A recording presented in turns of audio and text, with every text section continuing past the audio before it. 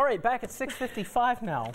We've had to do some switcheroos right here at the end of the show. We've had some craziness. So, what are we doing here? I have been noticing. Okay. I've been having to shave more lately.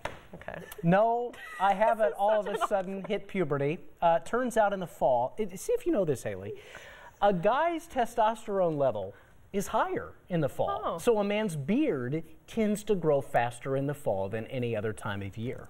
How bizarre. Yes, a man's libido is supposed to also be higher this time of year. Can, can we talk about why we're on camera for this? Yeah, why I know. I- this not is really awkward. Uh, something else to consider a little bit later this fall prime baby making time is in late autumn because a man's, can I say this? Uh, sperm concentration and, and count begin to rebound about now and peak in November and December. This is science right here, ladies and gentlemen. They're at their lowest from August to October due to the summer heat.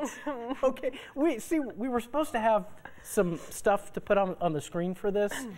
I'm glad we all got to share this together. at the last minute. Thanks. Sorry, everybody. Let's just go to break. We'll see you in a minute. We're going to have LEX 18 News on the go straight ahead. Late Cruz, get out of here.